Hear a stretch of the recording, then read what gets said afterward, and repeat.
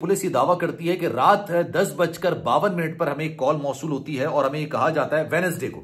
हमें कहा जाता है कि जनाब, यहाँ पर इस घर के अंदर लाशें गिरी पड़ी हुई हैं और कुछ लोग ज़िंदा बचे। एक दो मिनट के अंदर पुलिस की भारी नफरी उस घर में पहुँच जाती है। अब पुलिस चीफ ये बात कह रहा है कि जब हम दरवाज़ा खोलते हैं तो हमारे पैरों तले ज़मीन निकल जाती है क्योंकि छह अफराद खून में लथपथ ज़मीन पर पड़े होते हैं। उनमें एक दो माह का बच्चा शामिल होता है। सबकी साँसें चल रही होती हैं, लेकिन खून पानी की तरह बह रहा होता है और एक 19 साल का लड़का हाथ में खंजर लिए वहाँ पर खड़ा होता है। इन छह अफराद में ये पूरा एक घराना है, मियाँ बीवी और चार बच्चे और साथ साथ इनके घर में एक रिश्तेदार चालीस साल का रहने आया था। इन सबको बेदर्दी के साथ छुरे मारे गए थे और फिर गला काटने की कोशिश की गई थी उसके बाद इनकी साँसें चल रही थी। जब इनको अस्पताल मुंतकिल किया जाने लगा तो इस घराने का जो सरबरा था, वो सिर्फ़ जख्मी था और इस हालत के अंदर था कि वो बात कर सके। उसने उस 19 साल लड़के की तरफ़ इशारा करके बोला कि इसने मेरे दो माह के बच्चे को खंजर मार मार कर कत्ल किया और उसकी वजह आप सभी को खुश आमदीद। मैं हूँ सलमान मिर्ज़ा और आप देख रहे हैं मेरा यूट्यूब चैनल और Facebook page sum up with Salman Mirza. जनाब, क्या हाल है? कैसे हैं आप लोग? मैं उम्मीद करता हूँ, दुआ करता हूँ, आप जहाँ हो, खैर वाफियत से हो, सेहतमंद हो, तंदुरुस्त हो, और ये वीडियो देखने के लिए आप सभी ने वक्त निकाला है। वीडियो के आगाज़ में तहे दिल से आप सभी का मैं शुक्रिया अदा करता हूँ। जनाब, जो वाक्य मैं आपको सुनाने जा रहा हूँ ना, अपनी ज़िंदगी के अंदर इससे ज़्यादा वहशतनाक, दर्दनाक, खौफनाक और खतरनाक वाक्य मैंने अपनी ज़िंदगी के अंदर ना देखा, ना सुना। दो माह के बच्चे को इंसान कैसे कत्ल कर सकता है? यह अपनी नौयत का इतना खतरनाक वाक्य कि यकीन जानिए आपके रोंटे खड़े हो जाएँगे। कनाडा के अंदर यह वाक्य पेश आया और आप सोचिए कि इतना खतरनाक वाक्य है कि कैनेडियन प्राइम मिनिस्टर ट्रूडो ने आके बात बोली है कि मैंने इससे ज़्यादा खतरनाक और गंदा वाक्य अपनी ज़िंदगी में नहीं देखा। एक घर के अंदर छह लोगों को इंतहाई बेदर्दी के साथ कत्ल किया गया और ये छह के छह लोग एक ही खानदान के थे। यानी मियाँ बीवी और चार बच्चे, जिसमें दो माह का मासूम बच्चा शामिल है यार, उसको तेजदार आले से मारा गया कत्ल किया गया अब ये वाक्य है क्या? पूरी डिटेल में आपको बताता हूँ, क्योंकि कनाडा के अंदर ये वाक्य पेश आया और इस वक्त कनाडा में सिर्फ़ इस वाक्य का ज़िक्र किया जा रहा है। आप ये से सोचिए कि Canadian prime minister Justin Trudeau ने आके इस वाक्य पर बात की है।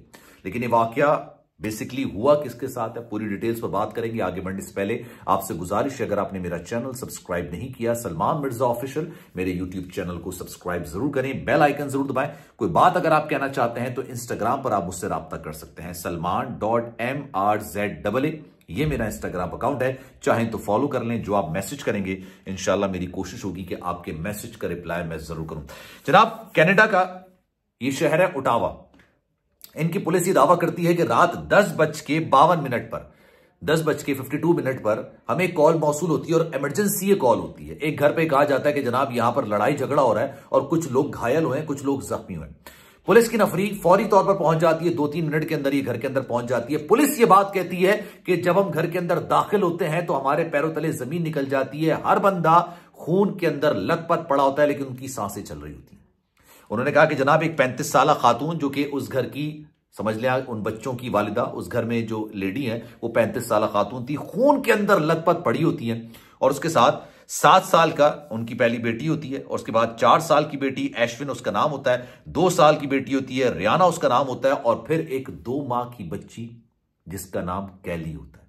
ये सब खून में लथपथ पड़े होते हैं, और इनके साथ एक चालीस साल का मर्द होता है, जिसको, जिसकी सांस चल रही होती है, होश में नहीं होता। एक और बंदा होता है, जो कि इन बच्चों का बाप है और पैंतीस साल खातून का शोहर है, वो भी जख्मी हालत में होता है, लेकिन वो इस हालत के अंदर होता है कि वो निशानदही कर सके। वो निशानदही करता है एक 19 साल के लड़के की तरफ़, ये सारे घर के अंदर हैं। कुछ लोग बेहोशी के आलम में, साँसें चल रही हैं, खून बह रहा है, ठीक है, दो माह के बच्चे से लेके पैंतीस साल उसकी वालिदा तक, सब बेहोशी की हालत में खून चल रहा है, लेकिन उनका जो बाप होता है, वो होश के अंदर होता है और जब पुलिस आती है तो वो इशारा करता है उन्नीस साल के लड़के की तरफ़, जो कि इनके खानदान का है, यानी रिश्तेदार है, और इनके घर रह रहा था। उन्नीस साल ये लड़का होता है, इसका नाम होता है फेब्रियो। ये श्रीलंकन फैमिली है, जो कि कनाडा के अंदर रह रही थी।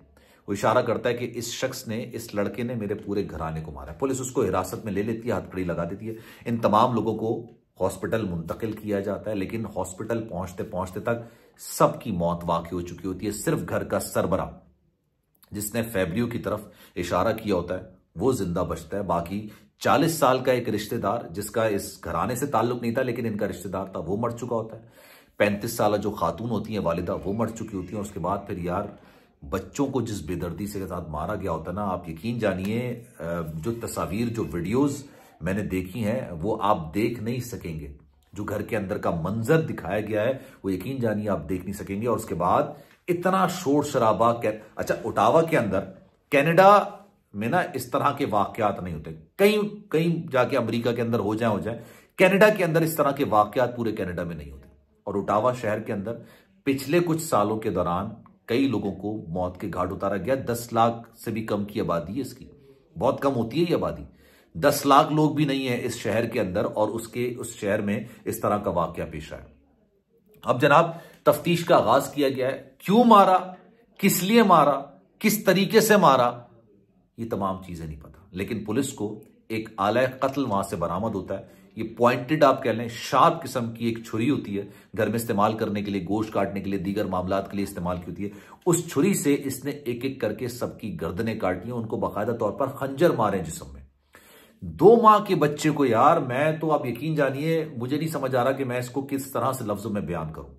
और जब ये मामला ज़ाहिर सी बात है उठा, मीडिया के अंदर आया, लोगों ने इस पर बात करना शुरू की तो लोगों ने जब बात करना शुरू की, मीडिया के अंदर आया तो जस्टिन ट्रूडो, जो कि कनाडा के प्राइम मिनिस्टर हैं, उन्होंने ये बात बोली है कि मैंने अपनी ज़िंदगी के अंदर, मैंने अपनी ज़िंदगी के अंदर इतना खतरनाक, इतना दर्दनाक, इतना खौफनाक, इतना वहशतनाक वाक्य अपनी ज़िंदगी में नहीं देखा। और मैं पर्सनली इस चीज़ को परस्यू करूँगा कि जिसने भी ये वाक्य किया है, उन्नीस साल जो फेब्रू गिरफ़्तार हुआ है, उसको कड़ी से कड़ी सजा दी जाए और मैं पर्सनली इस पूरे वाक्य को परस्यू करूँगा, इसका फॉलो अप लूँगा।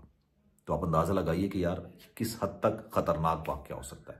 ये श्रीलंकन फैमिली एक तवील अरसे से कनाडा के अंदर रह रही थी। ये उन्नीस साल का लड़का जिसको जिसको कातिल के तौर पर आइडेंटिफाई किया गया। ये कुछ अरसे पहले इनके घर में आया था। क्या वजह, क्यों मारा, किस लिए मारा, किस तरीके से मारा, अभी तक कोई भी डिटेल्स पुलिस ने मीडिया को फरहम नहीं किया। इस बारे में आपकी राय क्या है? मैं चाहूँगा कि कमेंट सेक्शन में अपनी राय का इजहार ज़रूर कीजिएगा। सलमान मिर्ज़ा को दीजिए इजाज़त, ज़िंदगी रही, सेहत रही, आपकी दुआएँ रही तो इंशाल्लाह आपसे फिर मुलाकात होगी। जाने से पहले गुजारिश है, अगर चैनल सब्सक्राइब कर लेंगे तो ज़्यादा अच्छा लगेगा।